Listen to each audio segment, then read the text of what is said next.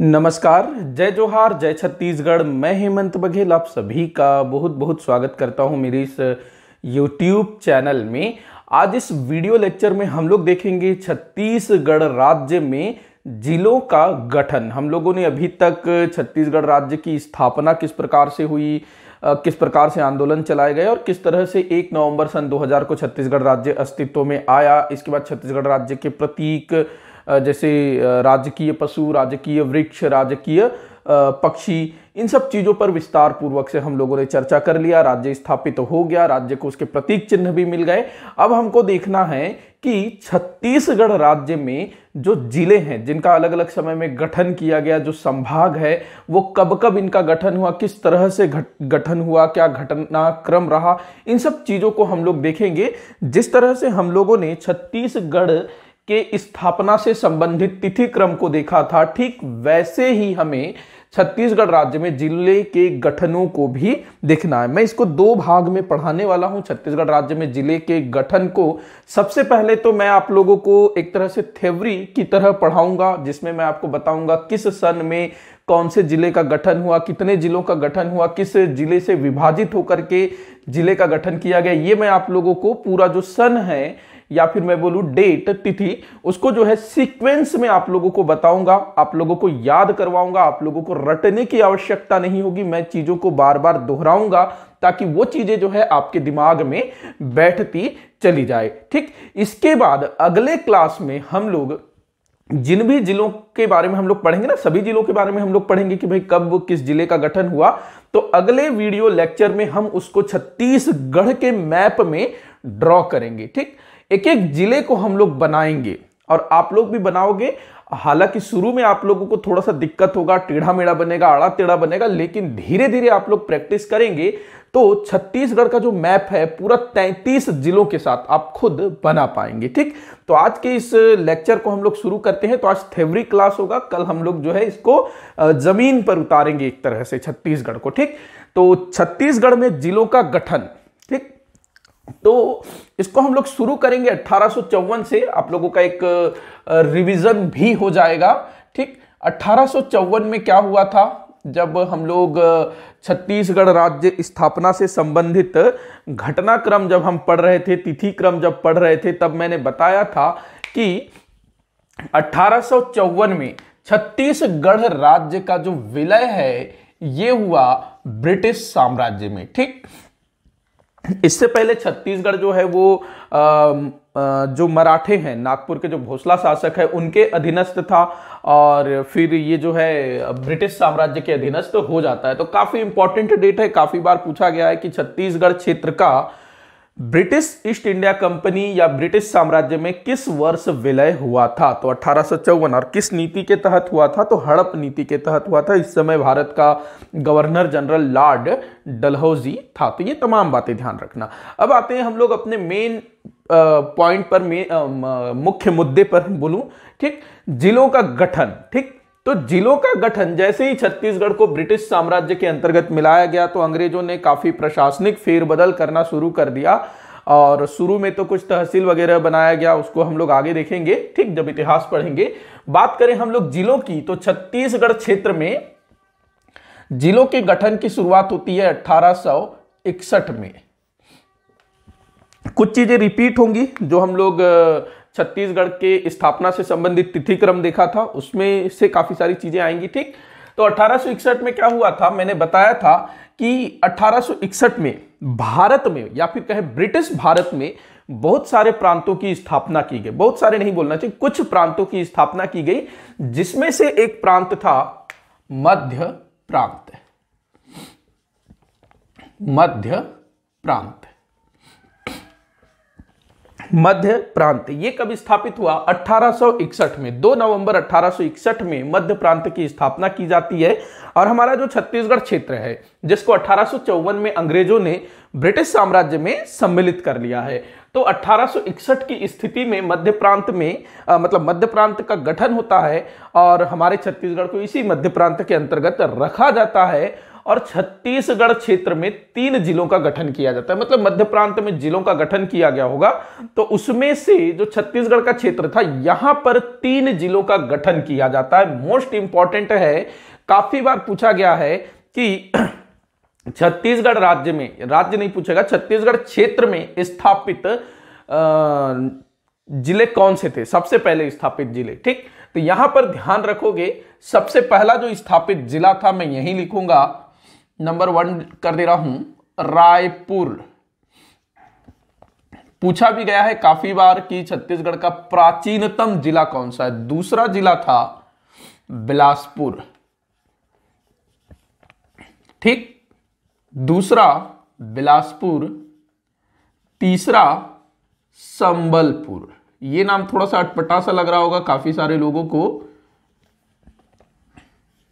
संबलपुर। ठीक तो तीन ज़िले तो मध्य प्रांत में क्या क्या घटना घटित हुआ? एक तो भाई सबसे पहले भारत में कुछ प्रांतों का गठन किया गया, जिसके तहत मध्य भारत के कुछ क्षेत्रों को मिलाकर के मध्य प्रांत नामक एक राज्य प्रांत स्टेट कुछ भी बोल लो, की स्थापना की गई। ठीक, अंग्रेज़ी में इसको बोला जाता था सेंट्रल प्रोविंस। ठीक, सेंट्रल प्रोविंस। कौन कौन सा क्षेत्र आता था? मैंने बताया हुआ है।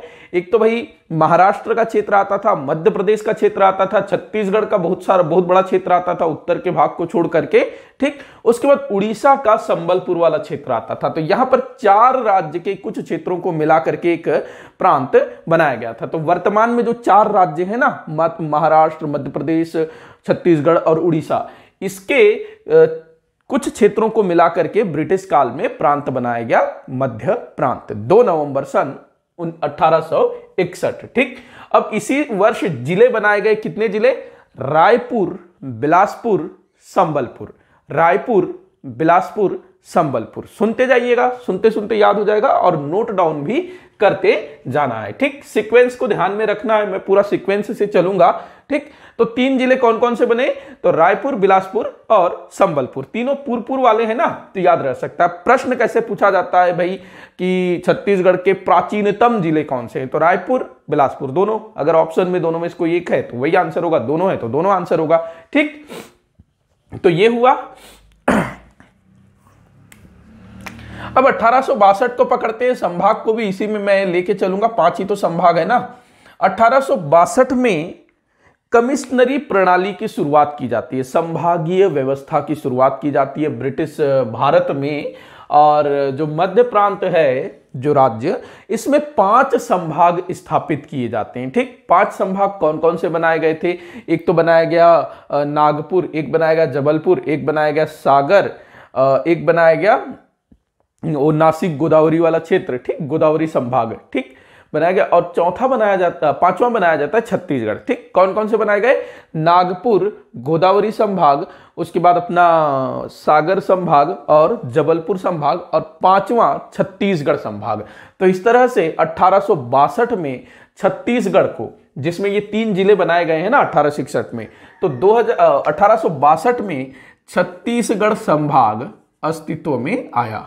छत्तीसगढ़ संभाग। जिसके अंतर्गत तीन जिलों को रखा गया और संभाग मुख्यालय के रूप में रायपुर को चुना गया, ठीक? तो ध्यान रहेगा ये, अठारह में छत्तीसगढ़ संभाग की स्थापना हुई। इसको हम लोग रायपुर संभाग भी बोल सकते हैं। अगर आपसे पूछा जाए, रायपुर संभाग की स्थापना कब हुई, गठन कब हुआ तो अठारह वहाँ पर लगा सकते हैं, ठीक? तो रायपुर संभाग या छत्तीसगढ़ संभाग। तो ऑफिशियली छत्तीसगढ़ संभाग इसको बोला गया तो छत्तीसगढ़ संभाग की स्थापना हुई अठारह में। कौन कौन से उसके ज़िले थे? तो रायपुर जिला था, बिलासपुर जिला था, संबलपुर जिला था। संभाग मुख्यालय रायपुर को बनाया गया, ठीक? आगे बढ़ते हैं। अच्छा यहाँ पर एक ट्विस्ट है। सरगुजा वाला भाग इस समय छत्तीसगढ़ के अंतर्गत नहीं था, बस्तर वाला भाग छत्तीसगढ़ के अंतर्गत था। लेकिन जो बस्तर है दंडकारण्य का पठार, इसको छत्तीसगढ़ संभाग के अंतर्गत न रख करके गोदावरी संभाग के अंतर्गत रखा गया था। गोदावरी नदी का प्रवाह क्षेत्र जिस जिस तरफ़ था ना, उसको गोदावरी संभाग बना दिया गया था, ठीक? तो गोदावरी संभाग के अंतर्गत छत्ती बस्तर क्षेत्र को रखा गया था। यह भी ध्यान में रखेंगे। अब आते हैं, आगे बढ़ते हैं।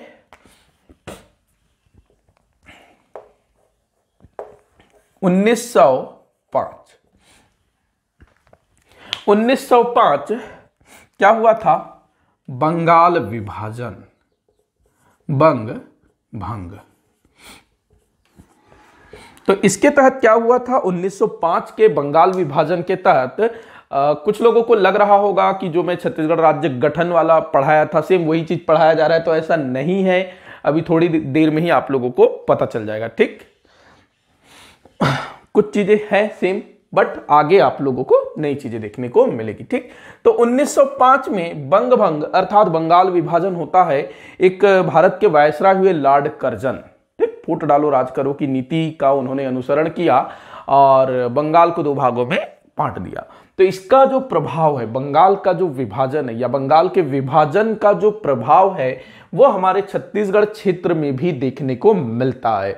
होता क्या है कि ये जो संबलपुर वाला जो एरिया है ना, ये जो संबलपुर वाला जो एरिया है, इसको छत्तीसगढ़ से पृथक कर दिया जाता है, अलग कर दिया जाता है छत्तीसगढ़ से संबलपुर वाले क्षेत्र को। अब यहाँ पर देखना, संबलपुर वाले क्षेत्र में पाँच रियासतें हुआ करती थी। संबलपुर वाले क्षेत्र में पाँच रियासतें हुआ करती थी, जिनको उठा करके बंगाल प्रांत के उड़ीसा क्षेत्र में सम्मिलित कर दिया जाता है। उड़ीसा उस समय अलग से राज्य नहीं था, ध्यान रखना, वो बंगाल प्रांत के अंतर्गत आता था। जिस तरह से मध्य प्रांत एक प्रांत था, वैसे ही बंगाल भी एक प्रांत था, जो कि ब्रिटिश भारत के पुराने प्रांतों में से एक था। ठीक?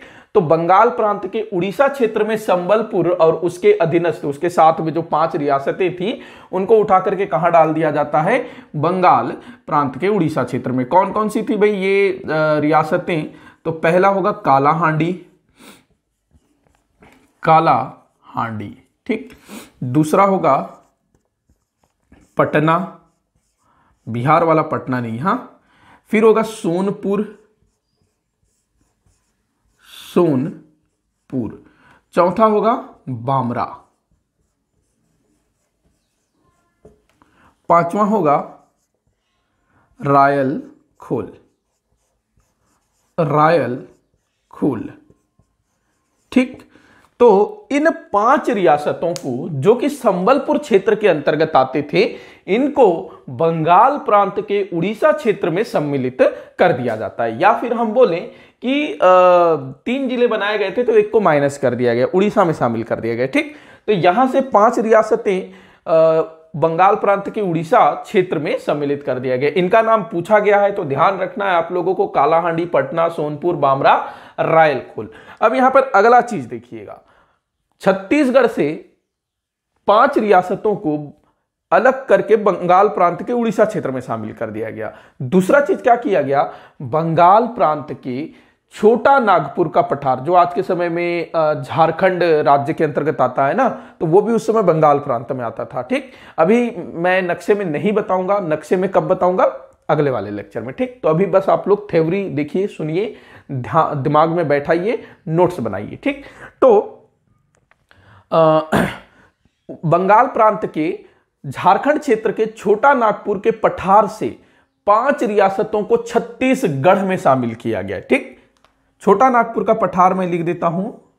यह भी पूछा जाता है। छोटा नागपुर का पठार। अब यहाँ पर ये मत सोचना कि भाई छोटा नागपुर का पठार ये नागपुर के आसपास होगा। अच्छा जो मध्य प्रांत जो राज्य बनाया गया ना, प्रांत बनाया गया, उसकी राजधानी नागपुर को बनाई गई। ये वाली नागपुर नहीं, जो महाराष्ट्र वाला नागपुर। छोटा नागपुर का जो पठार है, ये झारखंड में है। झारखंड और हमारे छत्तीसगढ़ में भी इसका कुछ भाग विस्तृत है, ठीक? तो छोटा नागपुर के पठार के अंतर्गत पाँच रियासतों को छत्तीसगढ़ में शामिल किया गया। कौन कौन सी थी ये रियासतें? अब देखना, अब अच्छे से समझ में आएगा। आप लोगों को तो इसमें शामिल किया गया कोरिया, ठीक? कोरिया, दूसरा, चांग भखार। चांग भखार। तीसरा, सरगुजा। चौथा, जसपुर। पांचवा उदयपुर। ठीक? तो ये पाँच रियासतें। अब देखो, ये जो पाँचों रियासतें हैं, कोरिया, सरगुजा, जसपुर इनसे तो कुछ पता चला होगा ना। हमारे छत्तीसगढ़ का जो उत्तरी भाग है, जिसको हम लोग सीधा सीधा सरगुजा संभाग बोल सकते हैं तो सरगुजा संभाग का जो भाग है, वो 1905 के पहले हमारे छत्तीसगढ़ के अंतर्गत नहीं आता था, वो बंगाल प्रेसिडेंसी, बंगाल प्रांत के अंतर्गत आता था, ठीक है? तो 1905 में ये क्षेत्र हमको जो है प्राप्त हुए, और वर्तमान छत्तीसगढ़ का जो अस्तित्व है या फिर मानचित्र है, वो स्वतः ही तैयार हो जाता है। जो ऐसे कुछ है ना हमारे छत्तीसगढ़ का नक्शा अगर मैं बनाने की कोशिश करूँ, ठीक? ये ऐसे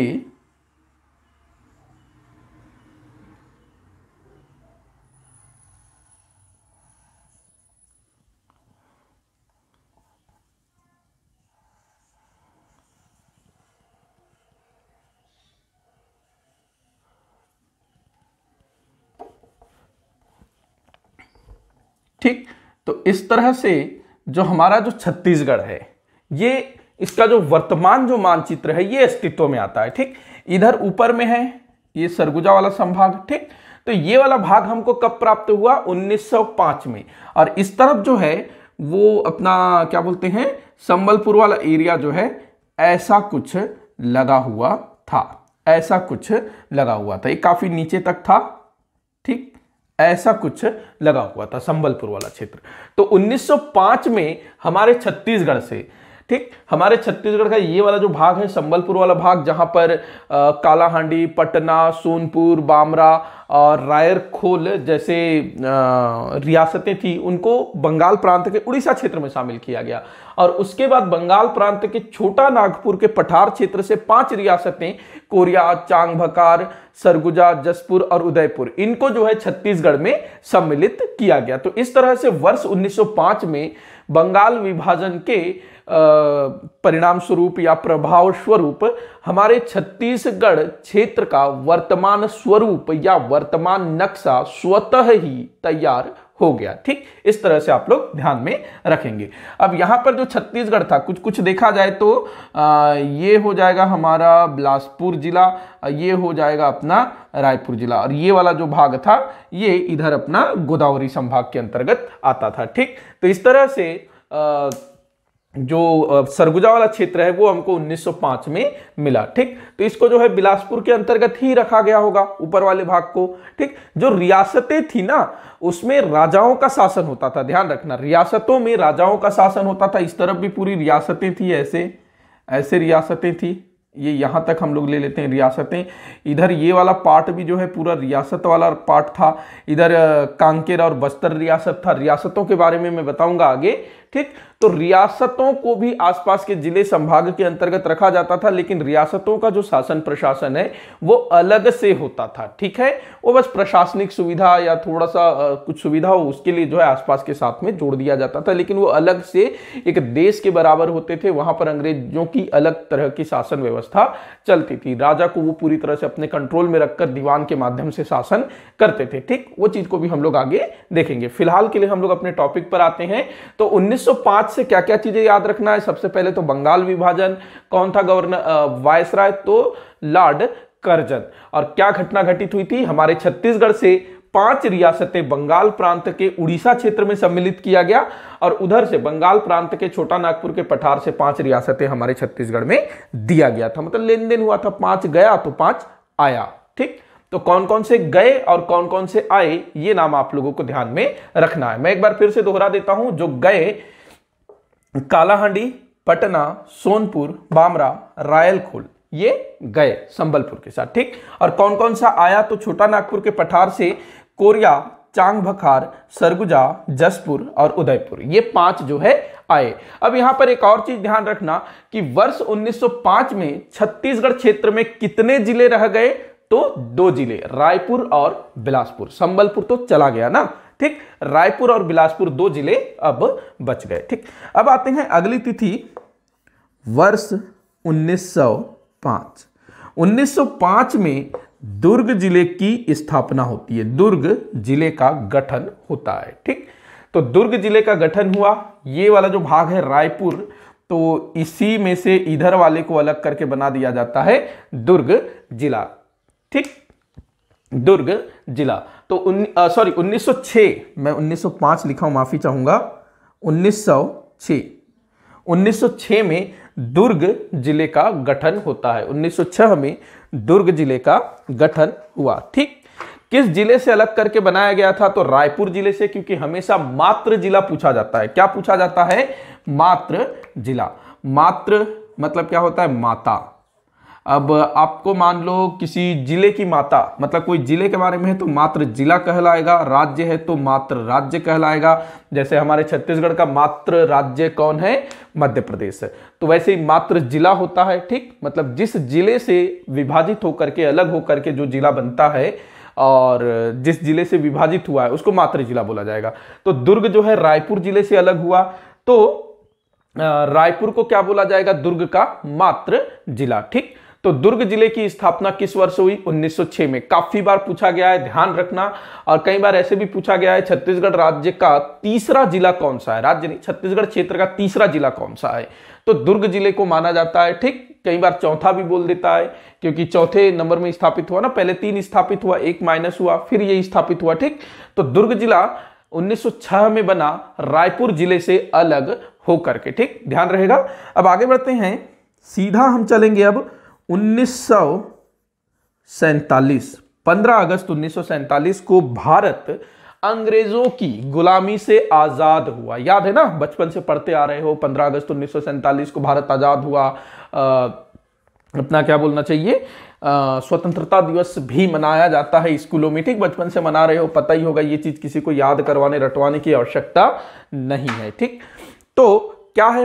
पंद्रह अगस्त उन्नीस सौ सैंतालीस की भी इंपॉर्टेंट है। प्रश्न पूछा जाता है कि भारत के स्वतंत्रता के समय छत्तीसगढ़ क्षेत्र में कितने ज़िले थे? तो बताइए आप लोग कमेंट बॉक्स में आंसर करने का कोशिश करिएगा कि भारत के स्वतंत्रता के समय छत्तीसगढ़ क्षेत्र में कितने ज़िले थे? अथवा भारत की आज़ादी के समय 15 अगस्त उन्नीस सौ सैंतालीस के समय कितने ज़िले थे? ऐसे पूछा जाएगा। तो सिंपल है। रायपुर, बिलासपुर, दुर्ग कितने ज़िले हुए? तीन ज़िले। ठीक? तीन ज़िले। उन्नीस सौ सैंतालीस की स्थिति में। संबलपुर अलग हो चुका है तो कई बार पूछा गया है, ध्यान रखोगे, उन्नीस सौ सैंतालीस में तीन ज़िले। अब आते हैं वर्ष 1948 एक नवंबर 1948 क्या हुआ था भाई, एक नवंबर 1948 को लगभग लगभग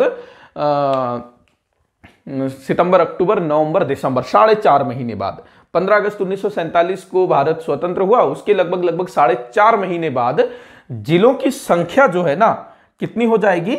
छह हो जाएगी। ठीक? जिलों की संख्या छह हो जाएगी, अर्थात तीन नए ज़िले बन जाएँगे। तीन नए ज़िले बनेंगे। कौन कौन से थे ये तीन नए ज़िले? तो देखिएगा, थोड़ा सा मैं नक्शा यूज़ करूँगा। ठीक? नक्शा वैसे मैं कल अच्छे से बताऊँगा आप लोगों को, ठीक? तो तीन नए ज़िले बनाए गए। कौन कौन से थे वो नए ज़िले? अब यहाँ पर देखो, ये तो हो गया बिलासपुर, ठीक? ये बिलासपुर हो गया, ये हो गया रायपुर, ये हो गया दुर्ग, ये हो गया दुर्ग, ठीक? रायपुर, बिलासपुर, दुर्ग। तो 1948 एक नवंबर सन 1948 को तीन नए ज़िले बनाए गए और छत्तीसगढ़ क्षेत्र में कितने ज़िले हो गए? छह ज़िले। पहले के तीन रायपुर, बिलासपुर, दुर्ग। अब तीन नए ज़िले बनाए गए। कौन कौन से थे वो ज़िले? देखते हैं, ठीक? इसको हम लोग क्लीन कर देते हैं। भाई, संबलपुर तो अब रहा नहीं ना? तो हटा देते हैं भाई, संबलपुर 1905 से 1948 आ गया ना? ठीक? अब जो है तीन नए ज़िले बनाए जाते हैं। होता क्या है कि जैसे ही भारत आज़ाद होता है 15 अगस्त उन्नीस सौ सैंतालीस तो इससे एक और क्वेश्चन ध्यान रखना कि भारत स्वतंत्रता के समय किस प्रांत के अंतर्गत आता था? तो वही मध्य प्रांत अब मध्य प्रांत के नाम में थोड़ा सा परिवर्तन कर दिया जाता है मध्य प्रांत और बरार। उसके साथ बरार को जोड़ दिया जाता है तो मध्य प्रांत और बरार उसका नाम हो जाता है, ठीक? तो भारत की आज़ादी के समय छत्तीसगढ़ क्षेत्र जो है मध्य प्रांत और बरार प्रांत के अंतर्गत आता था, ठीक? ये भी ध्यान रखना। अब होता क्या है कि भारत में लगभग लगभग पाँच के आसपास देसी रियासत थे, राजे रजवाड़े थे, ठीक? तो अंग्रेज़ जब भारत छोड़कर जा रहे थे तो इन राजाओं को ऑफ़र दिया कि भाई तुम या तो स्वतंत्र रह सकते हो, या भारत में मिल सकते हो, या पाकिस्तान में मिल सकते हो। अंग्रेज़ों ने भारत का विभाजन कर दिया था ना, बांट दिया था भारत को, भारत पाकिस्तान बना दिया था, ठीक? तो राजा महाराजाओं को भी ऑफ़र दिया कि भैया तुम या पाकिस्तान में मिलो, या भारत में मिलो, या फिर चाहो तो स्वतंत्र रहो, ठीक? तो ऐसे में देसी रियासतों में कुछ देसी रियासतों को थोड़ा सा लालच आ गया कि भैया हम लोग स्वतंत्र रहते हैं, जैसे हैदराबाद हो गया, जूनागढ़ हो गया, कश्मीर हो गया, ठीक? इनको भी हम लोग डिटेल में देखेंगे, ठीक? तो होता क्या है? इनको लेकर के काफ़ी कसमकस चलती है। गृह मंत्री बनाए जाते हैं अपने सरदार वल्लभ भाई पटेल और उनके प्रयासों से लगभग लगभग 542 देसी रियासतों का भारत संघ में विलय होता है, ठीक?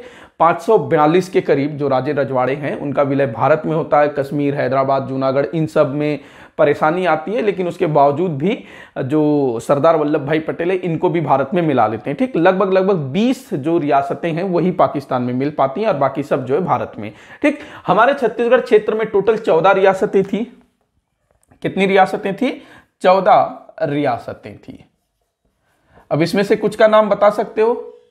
पाँच का नाम तो बता ही सकते हो ना? कोरिया चांग भकार सरगुजा, जसपुर, उदयपुर, ठीक? इसके बाद रायगढ़, सारंगढ़ शक्ति कवर्धा, खैरागढ़, राजनांदगांव, ठीक? कांकेर, बस्तर, ठीक? इस तरह से चौदह रियासतें थी छत्तीसगढ़ में। तो एक नवंबर सन 1948 को इन चौदह रियासतों का भारत संघ में विलय होता है और छत्तीसगढ़ क्षेत्र में इन्हीं से मिलाकर के तीन नए ज़िले बनाए जाते हैं, ठीक? तो इधर दक्षिण में कांकेर और बस्तर को मिलाकर के बनाया जाता है बस्तर जिला।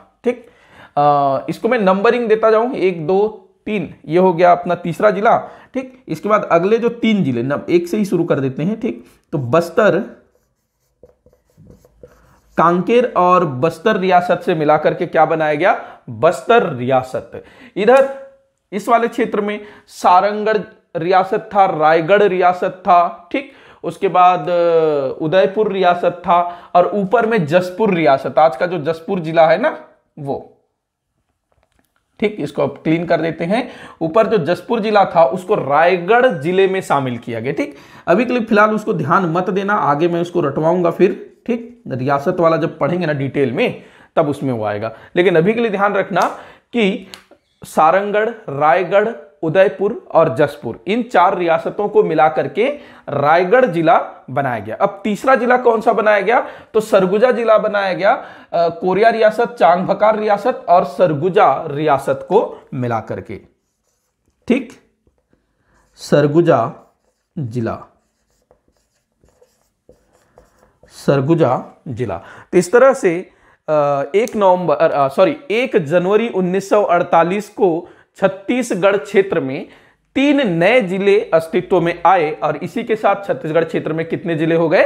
तो छह ज़िले। अच्छा कुछ लोगों को लग रहा होगा नांदगांव, खैरागढ़, कवर्धा, ये कहाँ चला गया? शक्ति व्यक्ति तो देखो, इधर के जो रियासतें थी, खैरागढ़, कवर्धा, नांदगांव, इनको दुर्ग ज़िले में शामिल कर लिया गया। ठीक, दुर्ग ज़िले में शामिल कर लिया गया।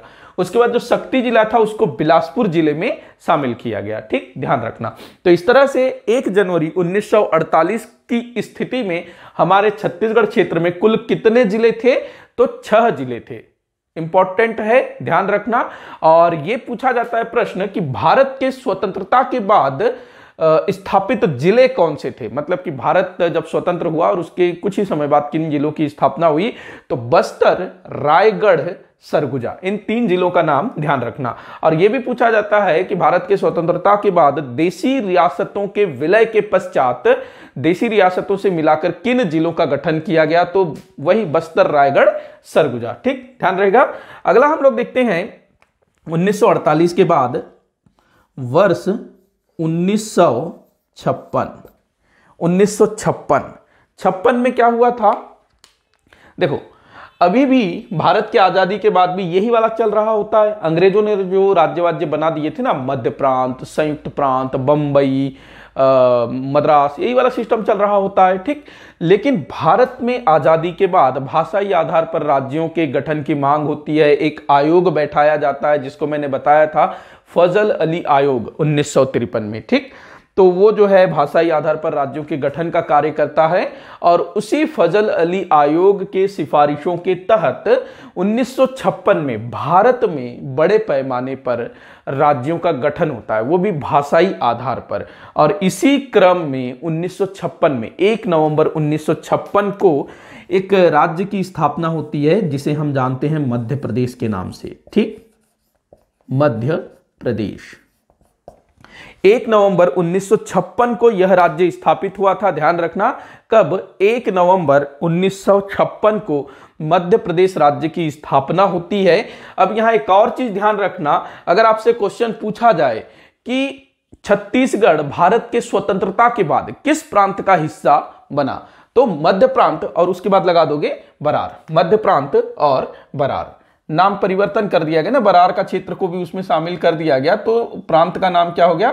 मध्य प्रांत एवं या और कुछ भी कर सकते हो, मध्य प्रांत एवं बरार। अंग्रेज़ी में बोलेंगे सीपी एंड बरार। कहीं पर इसको बराड़ बराड़ भी लिख दिया जाता है, ये भी मैं लिख देता हूँ, बराड़। ठीक?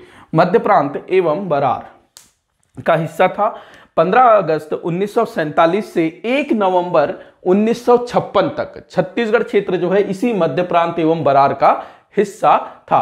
अब 1 नवंबर 1956 को मध्य प्रदेश राज्य की स्थापना होती है। तो इस छत्तीसगढ़ क्षेत्र को पूरा का पूरा ऊपर से लेकर नीचे तक, ऐसा नहीं कि भाई इधर की कुछ क्षेत्रों को बंगाल में शामिल कर दिया गया, उत्तर प्रदेश में शामिल कर दिया गया, ऐसा नहीं। ठीक, पूरा का पूरा ये जो चीज़ है, इसको उठा करके मध्य प्रदेश के साथ सम्मिलित कर दिया जाता है। ठीक तो 1956 में 1 नवंबर 1956 में मध्य प्रदेश राज्य अस्तित्व में आया और छत्तीसगढ़ को जो है मध्य प्रदेश का अंग बना दिया गया। क्वेश्चन पूछा जाता है, छत्तीसगढ़ राज्य मध्य प्रदेश का अंग कब बना? तो 1956 में, एक नवंबर 1956 में। अब यहाँ एक और चीज़ ध्यान रखना कि भारत की आज़ादी 15 अगस्त उन्नीस सौ सैंतालीस से लेकर के 1 नवंबर सन 1956 तक, जो अपना छत्तीसगढ़ है, इस मध्य प्रांत का अंग रहा तो राजधानी इसका पूछा जाता है तो वही नागपुर, ठीक? तो 1861 से लेकर के 1 नवंबर 1956 तक राजधानी क्या थी? नागपुर। और राज्य क्या था? पहले मध्य प्रांत, बाद में हो गया मध्य प्रांत एवं बरार। ठीक? ध्यान रहेगा इतना। अब जो मध्य प्रदेश है 1 नवंबर 1956 को अस्तित्व में आया तो इसकी राजधानी क्या थी? भोपाल। थी नहीं, है, अभी भी है ना, भोपाल उसकी राजधानी। अब 1956 से और क्या क्वेश्चन पूछा जाता है? तो एक क्वेश्चन पूछा जाता है कि जिस समय छत्तीसगढ़ मध्य प्रदेश का अंग बना। उस समय छत्तीसगढ़ में कितने ज़िले थे, ये पूछा जाता है। तो भाई, कितने ज़िले होंगे? कमेंट बॉक्स में जल्दी से बताइएगा। तो देखना, इस समय छह ज़िले छत्तीसगढ़ में। कितने ज़िले? छह ज़िले। क्योंकि भाई, इस बीच और कोई जिला नहीं बना है ना। तो कितने ज़िले होंगे? छह ज़िले। मध्य प्रदेश राज्य के गठन के समय छत्तीसगढ़ क्षेत्र में कुल छह ज़िले थे। तो यहाँ तक ध्यान में रहेगा। अब हम लोग आगे बढ़ते हैं। अच्छा एक नवंबर 1956 में ही छत्तीसगढ़ में एक नए संभाग का गठन होता है, बिलासपुर संभाग।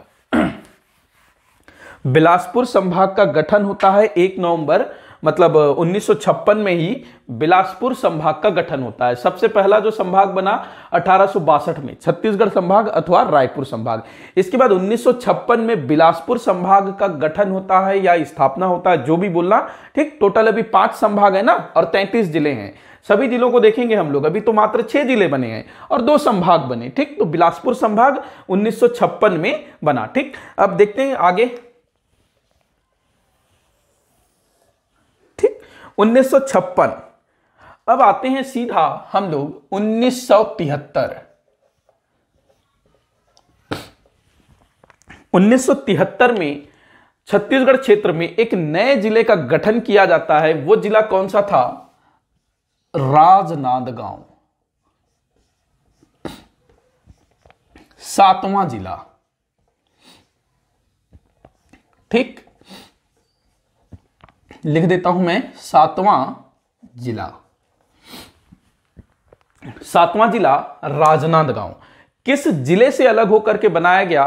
तो दुर्ग ज़िले से अलग होकर के इसको बनाया गया। मतलब कि राजनांदगांव ज़िले का जो मात्र जिला है, वो कौन होगा? दुर्ग जिला होगा। शायद ये थोड़ा सा ऊपर चला गया, इसको मैं नीचे लिखता हूँ। ठीक? राजनांदगांव राजनांदगांव, जो कि नांदगांव, खैरागढ़, छुई खदान जैसे रियासतों से बना था ना, ठीक? सातवां जिला, छत्तीसगढ़ का सातवां जिला। काफ़ी बार पूछा भी गया है कि छत्तीसगढ़ का सातवां जिला कौन सा है? तो वो कौन सा है? राजनांद गाँव छत्तीसगढ़ का सातवां जिला, ठीक? छत्तीसगढ़ का सातवां जिला राजनांदगांव, जो कि दुर्ग ज़िले से अलग होकर के बना था। ठीक तो ये हो गया अपना सातवां जिला। अब हम लोग एक संभाग देख लेते हैं बीच में। हालाँकि संभाग को मुझे बीच में नहीं लाना था, लेकिन इसको भी हम लोग ऐड कर ही लेते हैं। पाँच ही तो हैं। ठीक? लिख लेना। इसको अलग से कुछ हाईलाइट कर सकते हो तुम लोग। संभाग को मैं ऐसे गोला कर देता हूँ। ठीक? ये ऐसे, ये संभाग। और बिलासपुर कहाँ बनाऊँ? चलो, यहाँ मैं लिख लेता हूँ बिलासपुर के लिए। उन्नीस सौ छप्पन। ठीक? उन्नीस सौ छप्पन ऐसे गोला कर देते हैं तो हमको ध्यान में रहेगा कि ये संभाग है, ठीक? तो 1981 में छत्तीसगढ़ क्षेत्र का तीसरा संभाग अस्तित्व में आता है। कौन सा था वो संभाग? बस्तर संभाग। नक्शे में कल दिखाऊँगा, ये सारा चीज़ कल फिर से आएगा। ठीक है ना? और किस संभाग के अंतर्गत कितने ज़िले हैं कौन कौन से ज़िले हैं, ये सारा चीज़ हम लोग डिटेल में पढ़ने वाले हैं। अभी बस तुम लोग फेवरी देखो, सन, जो तिथियाँ हैं, उस पर कॉन्सेंट्रेट करो अभी। इसको पूरा नोट डाउन करो और अगले लेक्चर में हम लोग जो है, इन सब चीज़ों को, जितने भी हम लोग अभी ज़िले गठित कर रहे हैं, उनको हम लोग नक्शे में उतारेंगे। कौन सा जिला कहाँ है, कहाँ स्थापित हुआ था, कितने भाग से अलग हुआ था, ये सारा चीज़ हम लोग देखेंगे। संभाग वंभाग भी सब देखेंगे, ठीक? तो उन्नीस सौ इक्यासी में तीसरा संभाग बस्तर संभाग के रूप में अस्तित्व में आया ठीक? ये उस समय जो है पूरा का पूरा एक जिला हुआ करता था ठीक? पूरा का पूरा एक जिला। आज के समय में सात ज़िले हैं ना वो एक जिला हुआ करता था उस समय। अब आगे देखते हैं उन्नीस सौ अंठानबे में मध्य प्रदेश क्षेत्र में काफ़ी सारे जिलों का गठन किया जाता है। उसी आ, के अंतर्गत छत्तीसगढ़ क्षेत्र में कुछ जिलों का स्थापना हुआ जाता है। और यहाँ पर देखना, थोक में नौ जिलों का गठन होता है। थोक में नौ जिलों का गठन। ठीक? अभी तक तो हम लोग एक एक देख रहे थे। एक एक जिला, तीन जिला, दो जिला, ऐसे टाइप से देख रहे थे। ठीक? लेकिन अब जो है, उन्नीस में नौ नए जिलों का गठन होता है, ठीक? अभी तक कितने ज़िले हैं छत्तीसगढ़ में? सात ज़िले। रायपुर, बिलासपुर, दुर्ग, बस्तर, सरगुजा, रायगढ़ और सातवां राजनांदगांव। लेकिन उन्नीस में नौ नए ज़िले अस्तित्व में आ जाएँगे और टोटल कितने ज़िले होंगे? तो जोड़ो, नौ और सात को जोड़ो तो कितने हो जाएँगे? सोलह ज़िले। सोलह ज़िले। छत्तीसगढ़ राज्य स्थापना के समय कितने ज़िले थे यह अक्सर पूछा जाता है। तो 16 ज़िले, ठीक? अब देखते हैं कौन कौन से थे वो ज़िले। तो हम लोग एक तरफ़ मात्र जिला लिखेंगे और दूसरी तरफ़ उनसे बनने वाले ज़िले। तो बस्तर बस्तर ज़िले से अलग करके बनाया गया कांकेर। ठीक? उसके बाद दूसरा बनाया गया यहाँ से दंतेवाड़ा। कांकेर दंतेवाड़ा। बस्तर क्षेत्र से अलग करके बनाया गया कांकेर और दंतेवाड़ा। उसके बाद रायपुर रायपुर के बाद बिलासपुर बिलासपुर। उसके बाद सरगुजा,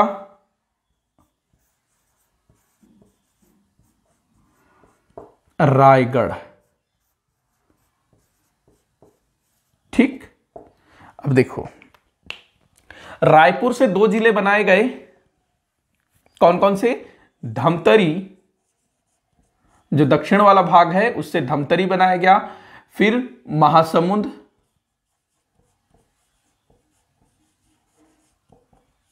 ठीक है? धमतरी, महासमुंद बनाया गया। उसके बाद अगला जो बनाया गया, बिलासपुर से, दो ज़िले बनाए गए बिलासपुर से। बिलासपुर से दो ज़िले बनाए गए। कौन कौन से? एक तो कोरबा, एक बनाया गया जांजगीर चांपा। जांजगीर चांपा। जांजगीर और चांपा जो है, दो अलग अलग नगर है। दोनों नगरों को हसदेव नदी बीच से डिवाइड करती है, ठीक? अब आते हैं सरगुजा। सरगुजा से एक जिला बनाया गया, कोरिया जिला। ठीक? उसके बाद रायगढ़ से बनाया गया जसपुर जिला। ध्यान रखना इसमें बहुत ज़्यादा कंफ्यूज होते हैं कि जो रायगढ़ जो जसपुर है वो पहले सरगुजा के आ, मतलब सरगुजा ज़िले के अंतर्गत रहा होगा। ऐसा लोगों को लगता है बच्चों को लगता है। लेकिन जसपुर जिला किसके अंतर्गत था? वो था रायगढ़ ज़िले के अंतर्गत ठीक? तो इस प्रकार उन्नीस में इन जिलों का गठन हुआ। कुछ तो कमी है ना? एक जिला छूट रहा है। दो दो दूनी चार, दो तिया छह दो चौकाट एक जिला छूट रहा है। कौन सा जिला छूट रहा है? कवर्धा। ठीक? अब जो कवर्धा जिला है, वो बना था बिलासपुर प्लस राजनांदगांव से मिलकर के। बिलासपुर ज़िले का कुछ क्षेत्र, बिलासपुर ज़िले का जो दक्षिण पश्चिमी वाला जो क्षेत्र है और राजनांदगांव का उत्तरी भाग का कुछ क्षेत्र, इसको मिलाकर के बनाया जाता है कवर्धा। जिला। ठीक? तो प्रश्न पूछा जाता है कि वह जिला कौन सा है जो दो जिलों के कुछ क्षेत्रों से मिलकर के बना था? कवर्धा। अभी जो पाँच, छह नए ज़िले बने हैं ना, चार, पाँच नए ज़िले बने हैं, उनमें से भी एक जिला ऐसा है जो कि दो जिलों के कुछ क्षेत्रों से मिलकर के बना है। मैं आगे बताऊँगा। ठीक? तो कवर्धा स्पेशल केस है, ध्यान रखना है। दो जिलों के कुछ क्षेत्रों को मिलाकर के कवर्धा जिला बनाया गया था, बिलासपुर का कुछ क्षेत्र और राजनांद गाँव का कुछ क्षेत्र मिलाकर के कवर्धा जिला बनाया गया था, ठीक? तो यहाँ पर ध्यान रखना, नौ जिलों का गठन हुआ, बस्तर ज़िले से अलग करके। कांकेर, जो उत्तरी भाग है बस्तर ज़िले का, उसको कांकेर ज़िले के रूप में स्थापित किया गया। दक्षिणी भाग को दंतेवाड़ा के रूप में स्थापित किया गया। ठीक, रायपुर में भी जो दक्षिणी भाग है, कांकेर से लगा हुआ, उसको धमतरी के रूप में स्थापित किया गया। पूर्वी भाग महासमुंद के रूप में स्थापित किया गया, ठीक? तो रायपुर से महासमुंद और धमतरी, बस्तर से कांकेर और दंतेवाड़ा, बिलासपुर से कोरबा और जांजगीर चांपा को अलग करके नया जिला बनाया गया। उसके बाद सरगुजा से कोरिया को अलग करके अलग जिला बनाया गया, रायगढ़ से जसपुर, जो उत्तरी भाग है, उसको अलग करके नया जिला बनाया गया, और उसके बाद कवर्धा, बिलासपुर और राजनांदगांव के कुछ क्षेत्रों को मिलाकर के बनाया गया। इस तरह वर्ष उन्नीस में हमारे छत्तीसगढ़ क्षेत्र में कुल कितने ज़िले हो गए? 16 ज़िले अस्तित्व में आए, ठीक? 16 ज़िले। मतलब देखो, सात से सीधा 16 तो थोक में नौ जिलों का गठन हुआ, ठीक? आगे देखते हैं। 2000 2000 में क्या हुआ था भाई? एक नवंबर सन 2000 को छत्तीसगढ़ राज्य की स्थापना हुई थी, ठीक? छत्तीसगढ़ राज्य की स्थापना हुई थी एक नवंबर सन 2000 को और प्रश्न पूछा जाता है कि राज्य स्थापना के समय छत्तीसगढ़ में कितने ज़िले थे? तो लगाना कितना है? 16 ज़िले। ठीक? 16 ज़िले स्थापित हुए एक नवंबर मतलब 16 ज़िले थे राज्य स्थापना के समय। वर्तमान में कितने ज़िले हैं? तैतीस। मतलब कि 16 अभी मतलब हम लोगों को आ, कितने? 17 और ज़िले स्थापित करना है। सोचो। अच्छा ये भी एक प्रश्न बन सकता है कि राज्य स्थापना के समय कितने ज़िले थे? ये तो बनेगा ही बनेगा 16 ज़िले। अब दूसरा प्रश्न क्या बन सकता है कि राज्य स्थापना के बाद से लेकर अब तक कितने नए ज़िले गठित किए गए हैं? ये भी ध्यान में रखना है। तो भाई, कितने ज़िले गठित किए गए हैं? अब यहाँ पर जैसे कि आप माइनस करोगे तैतीस से तो घटाओ कितना आएगा? सत्रह। सोलह सोलह, बत्तीस। बत्तीस में एक सत्रह, ठीक? तो 17 ज़िले गठित हुए हैं। एक नवंबर सन 2000 से लेकर के आज पर्यंत तक, ठीक? तो 17 नए ज़िले गठित हुए हैं, ये भी माइंड में बैठा के रखना। हर चीज़ में बताता चलता हूँ, जो भी मेरे दिमाग में आता जाता है कि भाई ऐसा क्वेश्चन पूछा जा सकता है, इस तरह से भी क्वेश्चन पूछा जा सकता है, इस टाइप से भी पूछा जा सकता है। जैसे भी मेरे दिमाग में आए कि भाई ऐसे भी क्वेश्चन बन सकता है तो वो चीज़ मैं आप लोगों के साथ ज़रूर से शेयर करूँगा और आप लोग जो है उस चीज़ को नोट डाउन करके रखिएगा, ठीक? अब आगे देखते हैं। 2000 हो गया। अब इसी में आगे हम लोग बढ़ते हैं। 2003 2003 में क्या हुआ? किसी भी प्रकार के नए ज़िले का गठन नहीं हुआ। कुछ जिलों के नाम परिवर्तन किए गए। मैं नहीं लिखूँगा, यही बताता जाऊँगा। आप लोग नोट डाउन करना। बहुत ज़्यादा इंपॉर्टेंट है और बहुत ज़्यादा सिंपल भी है। ठीक? बस आपको सन याद रखना है। तो देखो, बस्तर से जो दो नए ज़िले बनाए गए थे, कांकेर और दंतेवाड़ा, इनका नाम परिवर्तित किया गया। तीन जिलों के नाम परिवर्तन, यहाँ मैं ये बस लिख देता हूँ। तीन जिलों का नाम परिवर्तन। अब भाई, कांकेर का क्या परिवर्तन किया होगा? आप लोगों को लगता होगा, अभी भी तो कांकेर है, दंतेवाड़ा दंतेवाड़ा है। ठीक, देखो कांकेर, दंतेवाड़ा और कवर्धा, इन तीनों के नाम परिवर्तित किए गए। कांकेर का नाम किया गया उत्तर बस्तर कांकेर। ठीक, उत्तर बस्तर कांकेर। कांकेर का कोई भी ऑफिशियल आप डॉक्यूमेंट देखेंगे ना, सरकारी कागज़, दस्तावेज़ या उसका वेबसाइट उसमें कांकेर नहीं लिखा हुआ होगा। वहाँ लिखा हुआ होगा उत्तर बस्तर कांकेर। ठीक सेम दंतेवाड़ा में दक्षिण बस्तर दंतेवाड़ा। ठीक, दक्षिण बस्तर दंतेवाड़ा। तो ध्यान रखना। उस वक्त कवर्धा का क्या हो गया, सभी को पता होगा। संत कबीरदास जी का क्षेत्र है ना ये? तो कबीर धाम ठीक? कबीर धाम तो उत्तर बस्तर कांकेर, दक्षिण बस्तर दंतेवाड़ा और कबीर धाम ये नाम परिवर्तन किया गया। अच्छा एक चीज़ मेरे दिमाग में आ रहा है। वर्ष 2000 में जब राज्य स्थापित हुआ ना, इस समय जिलों की संख्या थी कितनी? 16 संभाग कितने थे? कितने संभाग गठित किए हैं भाई हमने? गोला लगाया हूँ ना संभागों को, ब्लैक से। तो ये अठारह में एक बना, छत्तीसगढ़ संभाग या रायपुर संभाग 1956 में दूसरा बना, बिलासपुर संभाग 1981 में तीसरा बना, बस्तर संभाग। तो राज्य स्थापना के समय छत्तीसगढ़ में कितने संभाग थे? तो तीन संभाग थे, रायपुर, बिलासपुर और बस्तर संभाग। वर्तमान में कितने संभाग हैं? तो पाँच संभाग हैं, ठीक? और छत्तीसगढ़ राज्य स्थापना से लेकर के बाद से लेकर अब तक कितने संभाग बने हैं? तो दो संभाग। सरगुजा और दुर्ग संभाग, ठीक? तो ये ध्यान रखना। अच्छा एक और चीज़ ध्यान रखना कि जिस समय छत्तीसगढ़ राज्य स्थापित हुआ, उसके कुछ समय बाद छत्तीसगढ़ में संभागीय प्रणाली जो संभाग वाली जो व्यवस्था है कमिश्नरी सिस्टम उसको बंद कर दिया गया समाप्त कर दिया गया। ठीक? मतलब संभाग उम्भाग नहीं होगा सीधा जिला होगा ज़िले के बाद सीधा राज्य होगा। इस टाइप से जो है व्यवस्था की गई थी। लेकिन ये जो सिस्टम है आ, मतलब इसको जो बंद किया गया था ये निर्णय सही नहीं लगा सरकार को। क्योंकि भाई संभाग की ज़रूरत थी। तो 2008 में इसको फिर से शुरू किया गया। ठीक? 2008 में इसको फिर से शुरू किया गया और फिर सरगुजा संभाग बनाया जाता है, ठीक? तो वो चीज़ जब मैं संभाग वाला पढ़ाऊँगा तो इसको डिटेल में पढ़ाऊँगा, ठीक? तो 2003 में तीन जिलों का नाम परिवर्तन। आगे देखते हैं। 2007 2007 में दो नए जिलों का गठन किया जाता है। 2007 में दो नए जिलों का गठन किया जाता है। कौन कौन से थे ये ज़िले? एक था बीजापुर दूसरा था नारायणपुर। पुरपुर वाले हैं ठीक? नारायणपुर, बीजापुर और नारायणपुर। वर्ष 2007 में बीजापुर और नारायणपुर, ठीक? किस ज़िले से अलग होकर के बनाया गया था? तो बस्तर ज़िले को पृथक करके दो और नए ज़िले बनाए गए। देखो, बस्तर ज़िले का विभाजन कब हुआ था भाई? उन्नीस में हुआ था। कांकेर और दंतेवाड़ा बनाया गया, ठीक?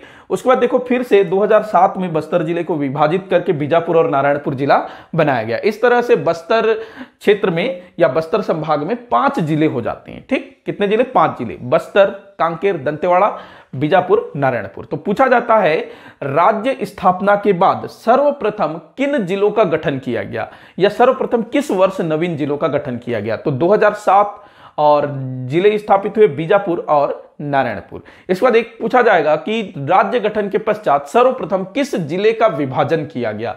तो किस ज़िले का विभाजन किया गया? बस्तर ज़िले का विभाजन किया गया। आ, अच्छा यहाँ पर सॉरी सॉरी मैं माफ़ी चाहूँगा। एक चीज़ मुझसे गलती हुआ। ये जो नारायणपुर है ये बस्तर ज़िले से अलग करके बनाया गया था नारायणपुर को। मैं यहाँ नीचे लिख देता हूँ बस्तर। और ये हुआ था दंतेवाड़ा से ठीक? कभी कभी फ्लो फ्लो में हो जाता है माफ़ी चाहूँगा। आप लोग कमेंट करके बता दिया करिएगा। हालाँकि लाइव क्लास नहीं है लेकिन अगर ऐसी गलती हो भी जाती है तो अगले वीडियो में अगले लेक्चर में या फिर वीडियो के बाद आ, मैं शॉर्ट वीडियो या किसी भी तरह से उसको सुधारने की कोशिश करता ही करता हूँ ठीक? तो कभी कभी फ्लो फ्लो में ऐसा हो रहा हो जाता है ठीक?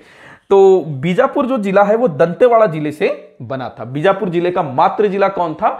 दंतेवाड़ा। ध्यान रखना। तो बस्तर ज़िले का मतलब बस्तर ज़िले से नहीं बना था, बस्तर ज़िले से दंतेवाड़ा बना और फिर दंतेवाड़ा से बीजापुर बना। ठीक? ध्यान रहेगा इतना? तो ये था 2007 में दो नए जिलों का गठन। इसके बाद हम लोग देखते हैं 2008 2008 में कमिश्नरी प्रणाली मतलब जो संभागीय प्रणाली है, इसको पुनः शुरू किया गया 2008 में और छत्तीसगढ़ के चौथे संभाग सरगुजा संभाग की स्थापना की गई। ठीक? सरगुजा संभाग। तो संभाग कितने हो गए अब? चार संभाग। तो ध्यान रखना आ, सन 2000 से लेकर के 2008 तक छत्तीसगढ़ में जो कमिश्नरी सिस्टम है कमिश्नरी प्रणाली संभागीय प्रणाली व्यवस्था जो भी बोलो उसको खत्म कर दिया गया था लेकिन 2008 में उसको फिर से शुरू किया गया और ये तीनों संभाग थे। रायपुर संभाग था, बिलासपुर संभाग था, बस्तर संभाग था। चौथे संभाग के रूप में सरगुजा संभाग की स्थापना की गई, ठीक? तो यहाँ तक क्लियर है, एक बार देख लो, क्योंकि मैं बोर्ड क्लीन करने वाला हूँ, क्योंकि भाई अभी और भी ज़िले बनेंगे, ठीक? अच्छा 2007 में जो दो नए ज़िले बने तो कितने ज़िले हो गए अब? जोड़ो 16 और दो 18 ज़िले, ठीक? 18 ज़िले गठित हो गए हैं। मतलब अभी भी कितने ज़िले बनने बाकी हैं? 15 ज़िले बनने अभी बाकी हैं। मतलब अभी हमको और लंबा जाना है ठीक? तो अगर इसका स्क्रीनशॉट लेना चाहो तो ले लो। वैसे आ, मैं चाहूँगा कि आप लोग जो है मैं जैसे जैसे बोलता जाऊँ वैसे वैसे आप इसको लिखते जाएँ तो ज़्यादा अच्छा स्क्रीनशॉट वगैरह लोगे तो आप लोग जो है उसको अपने फ़ोन में रखोगे और कभी उसको नोट भी नहीं करोगे ठीक? तो सन पे कॉन्सेंट्रेट करना है। सन को पकड़ के रखना है और कल हम लोग जो है इसको मैप में उतारेंगे। तो ये चीज़ें फिर से रिपीट होगी, कौन से सन में कौन सा जिला बना, आप लोग उसको दोबारा सुनोगे, ठीक? संभाग पढ़ेंगे फिर। मतलब पहले तो मैं संभाग बताने की कोशिश करूँगा, संभाग पाँच है, उसके बाद फिर ज़िले पढ़ेंगे। तो ये दो चार बार मैं इसको रिपीट कर दूँगा तो आपको जो है रट्टा मारने की ज़रूरत नहीं है, बस आपके दिमाग में बैठ जाएगा और एक दो बार इसको आप देख लेंगे तो आपको याद हो जाएगा, ठीक? तो हम लोग कहाँ तक पहुँचे हैं? 2008 तक। और अब जो है, हम लोग देखेंगे आगे कितने जिलों का गठन हो रहा है कौन कौन से ज़िले बनाए जा रहे हैं, ठीक? आते हैं ठीक? तो 2008 अब आते हैं हम लोग 2008 के बाद 2012 क्या हुआ था 2012 में? तो 2012 में उन्नीस के समान ही फिर से एक बार थोक में जिलों का गठन होता है। और इस बार भी संख्या कितनी थी? नौ। ठीक? नौ जिलों का गठन। नौ जिलों का गठन। तो आपसे प्रश्न पूछा जा सकता है कि छत्तीसगढ़ में वृहद पैमाने पर जिलों का गठन कब कब हुआ था? किन वर्षों में हुआ था? ऐसे पूछ सकता है। तो एक तो उन्नीस में नौ ज़िले उसके बाद 2012 में नौ ज़िले। एकदम थोक में बहुत सारे ज़िले बने थे ना। और 1948 में एक साथ तीन ज़िले, अठारह में एक साथ तीन ज़िले, अभी 2022 में भी एक साथ जो है पाँच ज़िले बनाए गए थे। हालाँकि थोड़ा सा फ़र्क था, हालाँकि इनमें भी थोड़ा थोड़ा फ़र्क था, बट वो एक ही वर्ष में था। अब देखते हैं 2012 में जो नौ ज़िले बने थे, वो किन किन जिलों से अलग होकर के बने थे और कौन कौन से वो ज़िले थे, ठीक? तो देखते हैं, एक तरफ़ वही मात्र जिला हम लोग देखेंगे और दूसरी तरफ़ स्थापित ज़िले। ऊपर से देखें इस बार, पहले नीचे से देखे थे तो सरगुजा मात्र जिला। सरगुजा से दो जिलों का गठन किया गया। सरगुजा से दो जिलों का गठन किया गया कौन सा था? एक तो था बलरामपुर। बलरामपुर। दूसरा था सूरजपुर।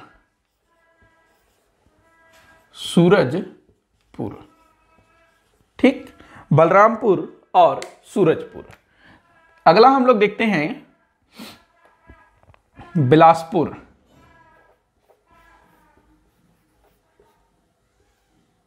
बिलासपुर।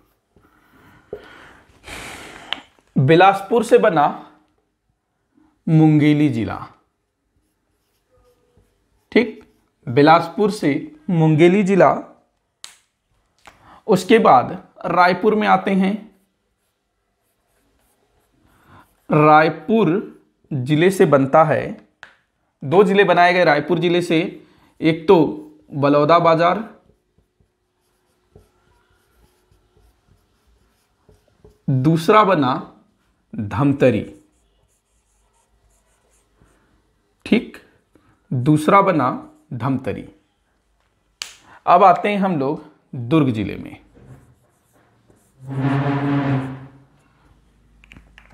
दुर्ग ज़िले में तो दुर्ग ज़िले से बनेगा बालोद और बेमितरा।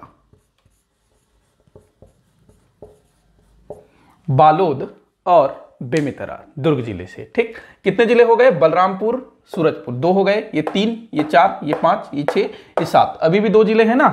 कहाँ बने थे ये दो ज़िले? बस्तर क्षेत्र में, बस्तर संभाग में। बस्तर ज़िले से अलग करके बनाया गया कोंडागांव जिला।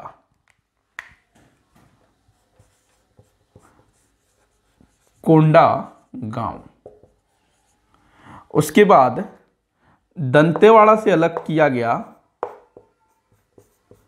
सुकमा को। ठीक?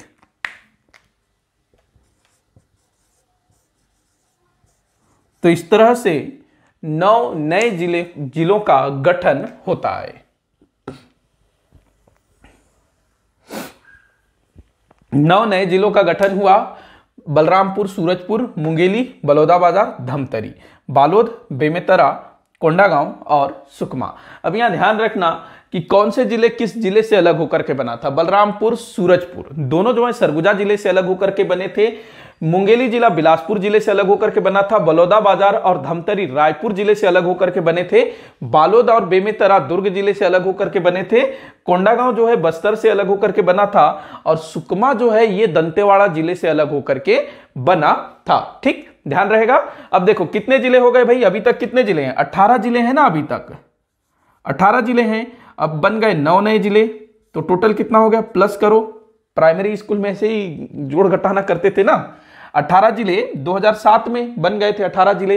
अब वर्ष 2012 में नौ नए ज़िले बन गए तो टोटल कितने ज़िले हो गए? 27 ज़िले, ठीक? तो इस तरह से हमारे छत्तीसगढ़ को 27 ज़िले प्राप्त हुए। कब? वर्ष 2012 की स्थिति में। अभी भी कितने ज़िले बचे हैं? देखो तैतीस है ना टोटल वर्तमान समय में। तो अभी छह ज़िले बनने बाकी हैं, ठीक? मतलब वीडियो जो है खत्म होने वाला है, ज़्यादा टेंशन मत लो, ठीक? तो 2012 में नौ नए ज़िले बने और इसी के साथ जो है 18 ज़िले बढ़ करके कितने हो गए? 27 ज़िले। आते हैं अगले सन पर 2013 2013 में क्या हुआ था? छत्तीसगढ़ के पाँचवें संभाग, दुर्ग संभाग की स्थापना होती है, ठीक? इसको मैं ब्लैक से ही लिखूं क्या? नहीं कंफ्यूज हो जाओगे। दुर्ग। दुर्ग संभाग की स्थापना होती है कब? 2013 में। संभाग बोल रहा हूँ, जिला नहीं, ठीक? जिला तो 1906 में बन गया था। वैसे ही बिलासपुर जिला कब बना था? 1861 में। संभाग कब बना? 1906 में। बस्तर जिला कब बना था? 1948 में। संभाग कब बना? 1981 में, ठीक? तो इस तरह से छत्तीसगढ़ को उसका पांचवा संभाग मिला। और इस तरह से छत्तीसगढ़ में कितने संभाग हो गए? पांचवा संभाग। अब संभाग से ध्यान रखोगे, छत्तीसगढ़ में स्थापित आखिरी संभाग दुर्ग संभाग, या नवीनतम स्थापित संभाग दुर्ग संभाग। 2013 के बाद कोई भी संभाग नहीं बना है, ठीक? अब हम लोग अगले वाले जो वीडियो होगा, जब हम लोग ज़िले विले देखेंगे ना डिटेल में तो उसमें मैं बताऊँगा किस संभाग में कितने ज़िले हैं इस टाइप से, ठीक? तो अभी के लिए बस संभाग कब बना वो ध्यान रखना, क्योंकि बहुत सारी चीज़ें हैं और यहाँ से क्वेश्चन जो है बहुत पूछा जाता है, कौन सा जिला कब गठित हुआ, किस ज़िले से अलग होकर के बना, कौन सा संभाग कब बना, ये सारा चीज़ पूछा जाता है, क्रम भी पूछा जाता है। क्रम देख लो, संभाग का सबसे पहले रायपुर संभाग या छत्तीसगढ़ संभाग। ठीक अठारह उसके बाद दूसरा संभाग बिलासपुर संभाग 1956 तीसरा संभाग 1981 बस्तर संभाग, चौथा संभाग सरगुजा संभाग 2008 पांचवा संभाग दुर्ग संभाग 2013 ठीक? तो अब ज़िले देख लेते हैं भाई फिर से। आते हैं वर्ष 2020 में। 2020 मतलब हमारे भूपेश बघेल जी का राज, काका जी का राज, ठीक? तो 2020 में बी, दस फरवरी 2020 सन डेट भी लिखना 10 फरवरी 2020 इसका डेट बहुत पूछा गया है। 10 फरवरी 2020 को ये जो अपना जो बिलासपुर जिला है ना जिसको 2012 में विभाजित करके मुंगेली जिला गठित किया गया था तो 2020 में बिलासपुर ज़िले को फिर से एक बार पुनर्गठित किया जाता है या विभाजित किया जाता है और बिलासपुर ज़िले से एक नया जिला बनाया जाता है। और वो जिला कौन सा था भाई? जी पी एम शॉर्ट में जीपीएम होगा, क्या होगा इसका फुल फॉर्म गौरेला पेंड्रा मरवाही। ठीक? गौरेला पेंड्रा मरवाही। लंबे लंबे नाम वाले जिलों का दौर शुरू हो जाएगा अब। इससे पहले केवल और केवल एक था जांजगीर चांपा। दो जगहों के नाम से रखा गया ज़िले का नाम, जांजगीर चांपा।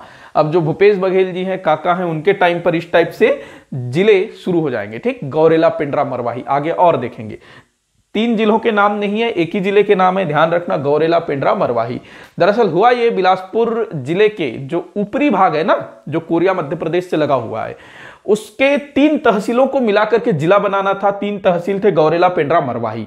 अब सभी तहसील के लोगों ने एक तरह से आवाज़ उठाना शुरू कर दिया कि भैया ज़िले का नाम जो है, हमारे तहसील के नाम से होना चाहिए। तो काका ने दिमाग लड़ाया, लो, सब खुश हो, किसी को नाराज़ नहीं करूँगा। तो क्या कर दिया? सभी तहसीलों के नाम से ज़िले का नाम रख दे गौरेला, पेंड्रा, मरवाही शॉर्ट में जीपीएम। ठीक? तो कौन से क्रम का जिला है? पूछा गया है काफ़ी बार, अट्ठाईसवां जिला। ठीक? अट्ठाईसवां जिला। ऐसे जो मतलब सिंगल में जो ज़िले बने हैं ना, जैसे राजनांदगांव बना है, अकेला, वैसे ही ये बना है, अकेला, जीपीएम। तो पूछते हैं ऐसे कि भाई, सातवां जिला कौन सा है राजनांदगांव? अट्ठाईसवां जिला कौन सा है? तो जीपीएम, गौरेला पिंडरा, मरवाही, ठीक? अब आते हैं। पाँच ज़िले बचे हैं ना 2022 2022 अब देखो 2022 में पाँच ज़िले बनाए जाते हैं। 2022 में पाँच ज़िले बनाए जाते हैं। कौन कौन से थे ये पाँच ज़िले उनको देखेंगे और जो भी उनका वो है क्या बोलना चाहिए? आ, क्या बोलेंगे उनको यार? अपना मात्र जिला ठीक? सॉरी मात्र जिला। तो सबसे पहले हम लोग पकड़ते हैं राजनांद गाँव को। ठीक? राजनांद गाँव। तो राजनांदगांव से दो ज़िले बनाए गए। ठीक? राजनांदगांव से दो ज़िले बनाए गए। पहला हम पकड़ेंगे मोहला मानपुर। मोहला दो ज़िले का नाम नहीं है, एक ही ज़िले का नाम है, ध्यान रखोगे। मोहला मानपुर और इतना ही नहीं है, और आगे भी है। मोहला मानपुर अंबागढ़ चौकी। अंबागढ़ चौकी। ये एक ज़िले का नाम है। मोहला मानपुर अंबागढ़ चौकी। ठीक? जो कि तीन सॉरी दो सितंबर दो सितंबर 2022 को अस्तित्व में आया था। दो सितंबर 2022 दो सितंबर 2022 को अस्तित्व में आया था। अगला जो जिला है, जो राजनांदगांव ज़िले से ही बना है, वो है खैरागढ़ छुई खदान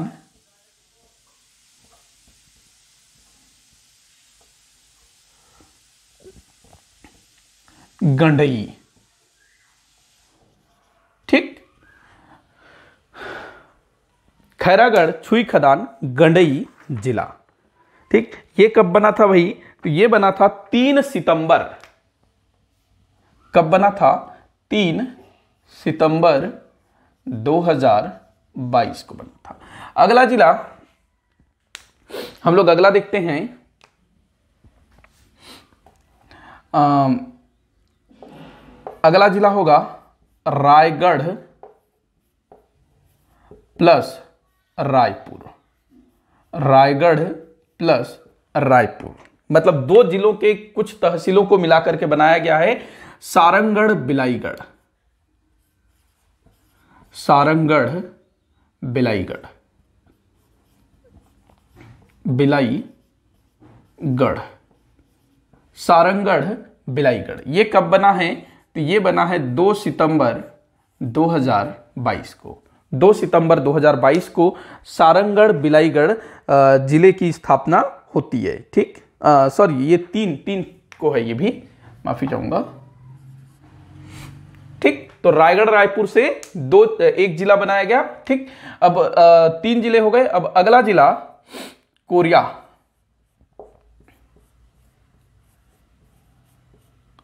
कोरिया ज़िले से बनाया जाता है, या बनाया गया, बनाया जाता है नहीं होगा, बनाया गया मनेन्द्रगढ़ मनेन्द्रगढ़ चिरमिरी भरतपुर। बस इतना ही है। नहीं तो फिर वो एक, एक मूवी है ना धमाल मूवी उसमें अरसद वारसी एक गाड़ी में बैठता है लिफ्ट लेता है गोवा जाने के लिए। हाय हेलो हो जाए नाम बताते बताते गोवा पहुँच जाएँगे बोलता है कोई मद्रासी वद्रासी कुछ था ना? ये लोग अपना नाम बताते हैं आदि मानव ये करके। फिर वो अपना नाम बताना शुरू करता है चिन्ना स्वामी। चिन्ना स्वामी अय्यर ए फलाना ढिमकाना ऐसे। तो वैसे ही टाइप से मनेन्द्रगढ़ चिरमिरी भरतपुर। भाई कब खत्म होगा? ऐसे टाइप का लग रहा है ना? ठीक? तो कोरिया ज़िले से अलग करके बनाया गया मनेन्द्रगढ़ चिरमिरी भरतपुर जिला, ठीक? उसके बाद अच्छा इसका स्थापना तिथि है 9 सितंबर 2022 अगला जिला, पांचवा जिला, शक्ति। शक्ति जिला, इसको तैतीसवां जिला कहा जाता है। शक्ति अच्छा यहाँ पर मात्र ज़िले का नाम लिखना था ना, उल्टा हो गया। चलो, इसको सीधा कर देते हैं। जांजगीर चांपा। इस बार मैं जांजगीर चांपा को शॉर्ट में लिखूँगा। पहले लिखा जा चुका है, ठीक इसलिए। जांजगीर चांपा यहाँ से बनाया गया शक्ति जिला। ये भी कब बना? तो 9 सितंबर 2022 को अस्तित्व में आया, ठीक?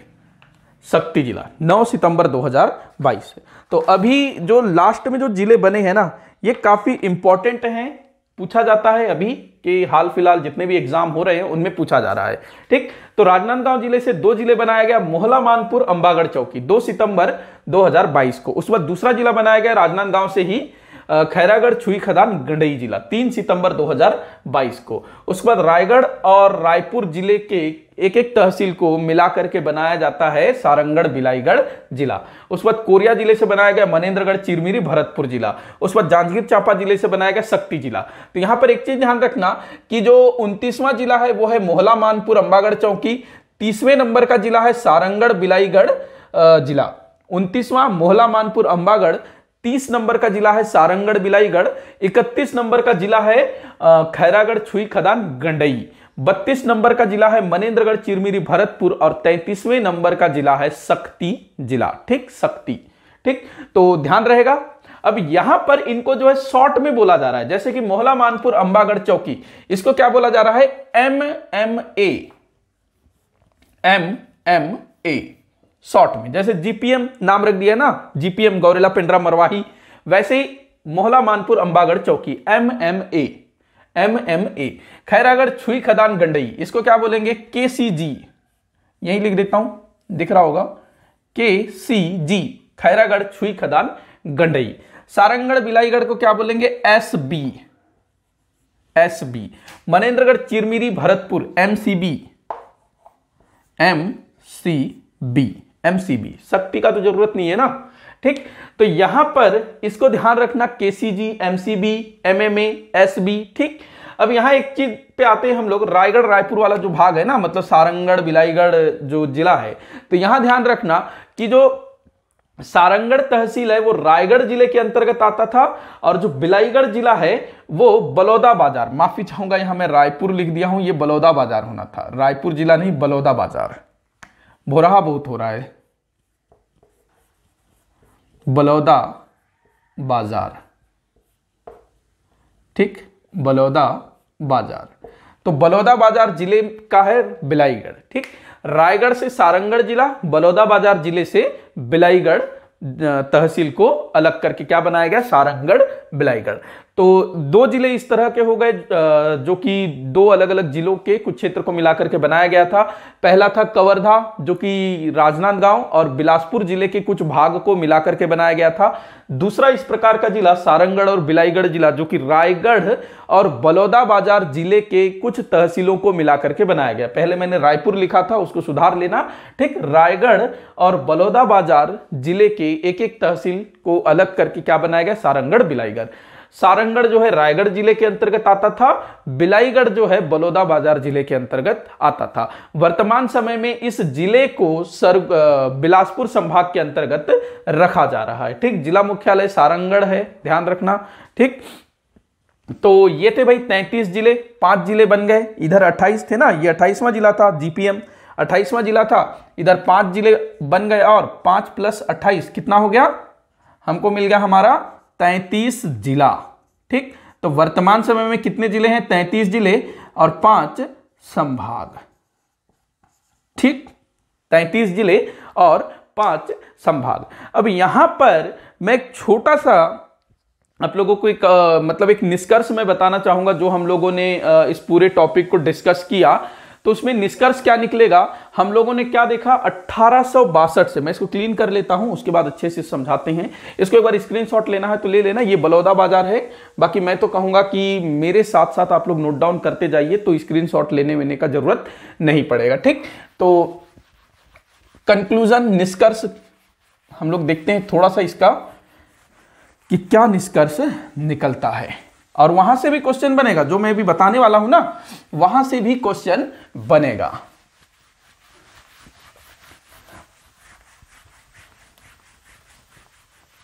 अब देखो, क्या बताने वाला हूँ कि हमने देखा 1861 या अठारह सौ चौवन ही ले लेते हैं हम लोग, अठारह से लेकर के आज पर्यंत 2024 तक, छत्तीसगढ़ क्षेत्र में कितने जिलों का गठन हुआ? तैतीस ज़िले बने, ठीक है? तैतीस जिला, पाँच संभाग। अब इस बीच जो है, छत्तीसगढ़। अलग अलग प्रशासनिक केंद्र या फिर क्या बोलना चाहिए? छत्तीसगढ़ ने काफ़ी सारी चीज़ें देखी। काफ़ी लंबा समय हो रहा है ना अट्ठारह से 2024 चौबीस चौंतीस, चौवालीस, चौवन, लगभग लगभग 170 साल। 170 सालों में छत्तीसगढ़ में 33 ज़िले बने, पाँच संभाग बने और इन 170 सालों में हमारे छत्तीसगढ़ में क्या बोलना चाहिए, अंग्रेज़ों ने शासन किया कुछ क्षेत्रों में रियासतें थी, ठीक? उसके बाद भारत की आज़ादी के बाद मध्य प्रांत का अंग रहा, फिर मध्य प्रदेश का अंग रहा उसके बाद फिर अभी 2000 से ये जो है अलग पृथक राज्य के रूप में अस्तित्व में है। तो इसको हम लोग अलग अलग भागों में डिवाइड कर सकते हैं। कैसे? देखिए, सबसे पहले हम लोग देखेंगे ब्रिटिश काल। ब्रिटिश काल। इसका सन हम लोग लिख लेते हैं चौवन से उन्नीस सौ सैंतालीस। क्या बताने जा रहा हूँ? ध्यान से देखना, ठीक? इसके ऊपर में अपन कर देते हैं छत्तीसगढ़।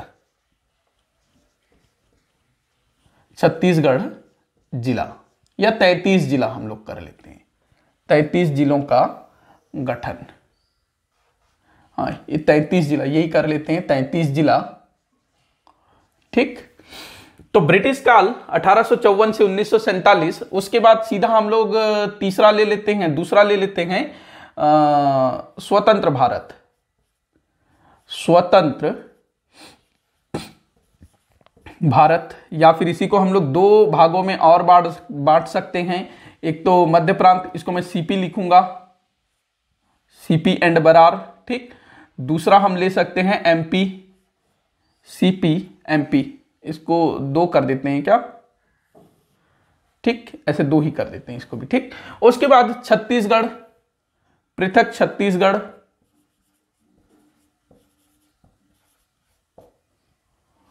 इसमें सन हम लोग लिख देते हैं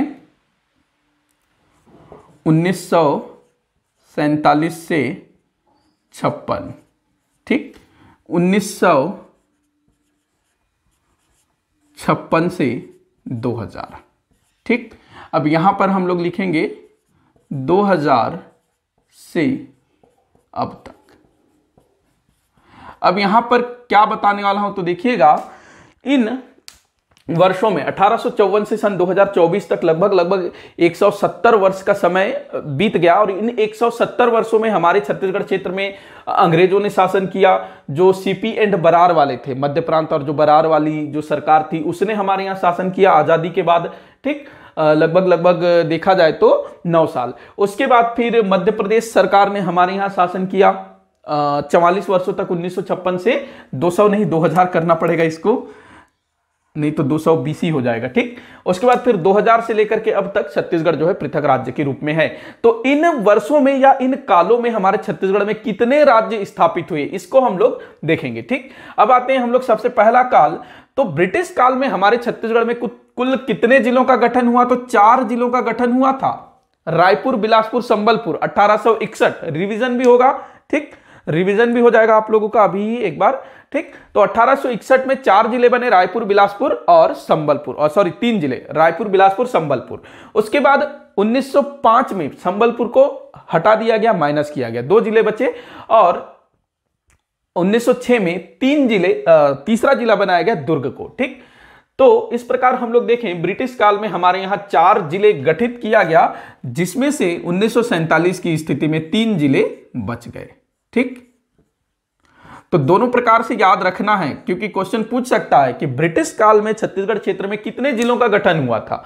तो चार जिलों का गठन हुआ था। अगर ऑप्शन दिया रहे, एक, दो, तीन, चार या फिर तीन ना हो, एक, दो, चार, पाँच ऐसा दिया हो तो चार को लगा सकते हो, ठीक? क्योंकि चार जिलों का गठन हुआ था, बाद में एक को माइनस किया गया और बच गए तीन ज़िले, ठीक? तो उन्नीस सौ सैंतालीस की स्थिति में तीन ज़िले बच गए। तो ओवरऑल हम लोग इसको लिख लेते हैं, तीन। ठीक?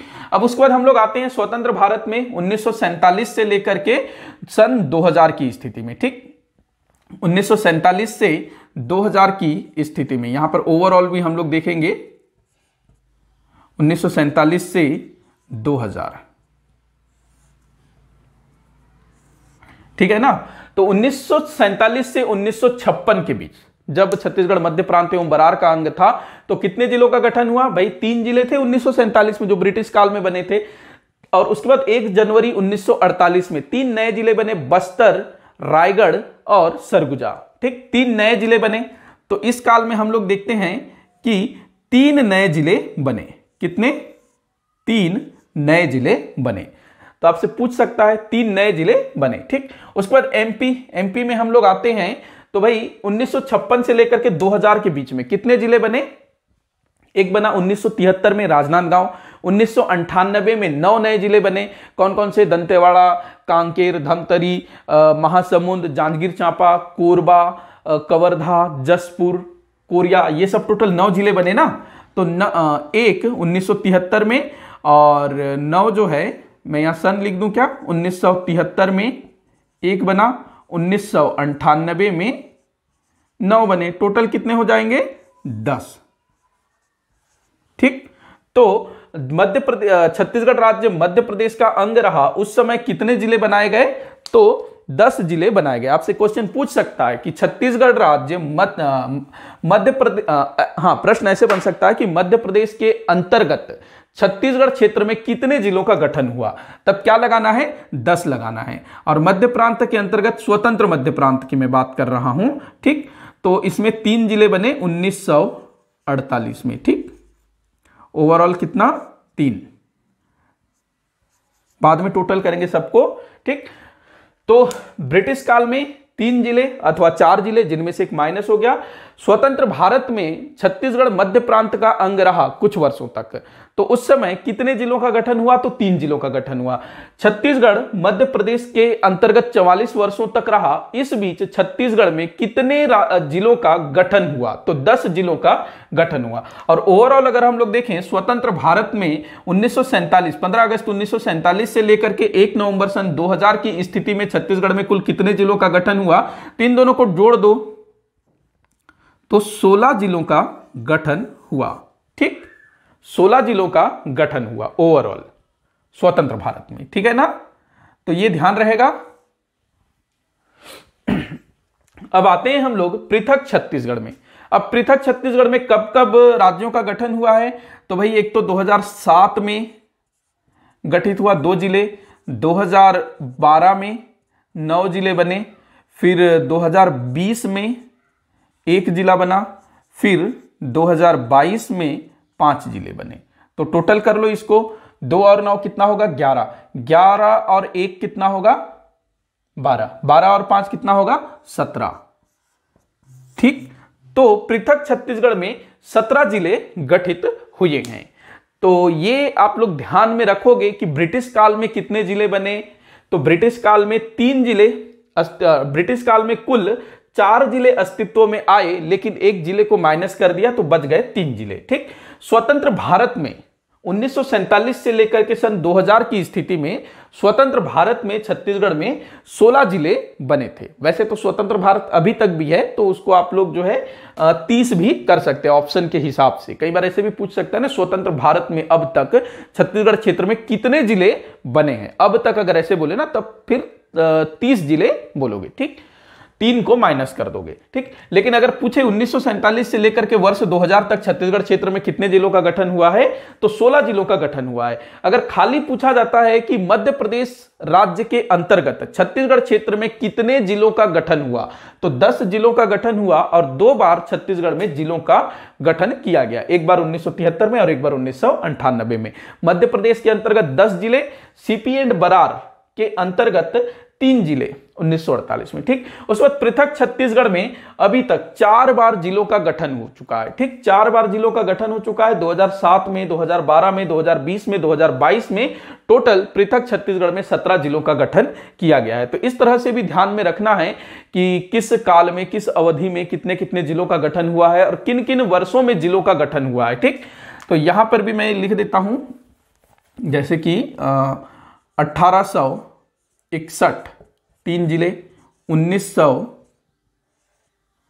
छ एक जिला, ठीक? अठारह सौ इकसठ में तीन ज़िले बने, उन्नीस सौ अच्छा एक हज़ार छ हो गया है क्या?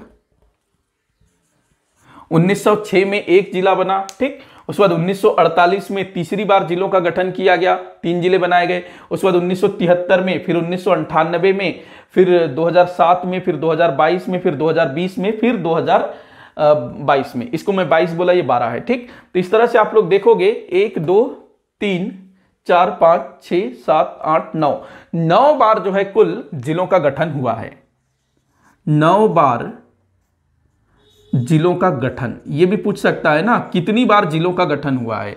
तो नौ बार जिलों का गठन हुआ है, नौ बार नाइन टाइम्स तो नौ बार जिलों का गठन किया गया है छत्तीसगढ़ में, और नौ बार में कुल कितने ज़िले बने हैं? तैंतीस ज़िले बने हैं। इनमें से आप लोग देखना कि 1906 में एक जिला बना, ठीक?